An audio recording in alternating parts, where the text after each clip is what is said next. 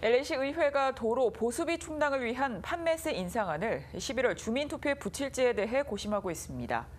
이 가운데 곳곳에 파톨과 크랙으로 불편을 겪는 LA 주민들의 모습을 코믹하게 담은 패러디 뮤직비디오가 나와 화제입니다. 김한일 기자입니다.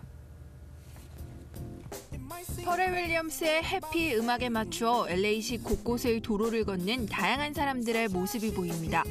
하지만 울퉁불퉁한 길거리의 crack과 거대한 pothole 등이 이들의 걸림돌이 됩니다. 음악을 들으며 걷다가 넘어지고 조깅을 하다가 넘어지고 출근길에도 연인들의 데이트길에도 crack은 어김없이 이들을 넘어지게 합니다.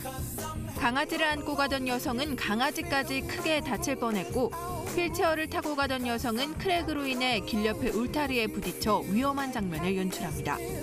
뒤를 따라오던 사람들이 넘어진 사람 위로 또 넘어지며 한 번 더 다치고 얼굴이 피투성이가 된 사람도 있습니다.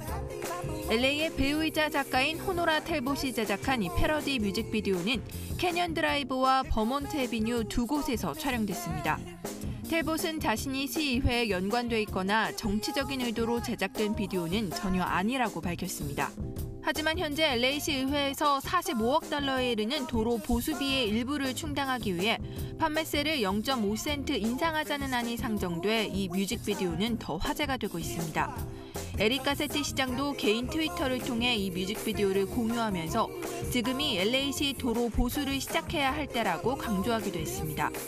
LA시의회는 오는 7월까지 도로 보수를 위한 판매세 인상안을 11월 주민투표에 붙일지 여부에 대한 결정을 내리게 됩니다. LA18 프라임 뉴스 김하늘입니다.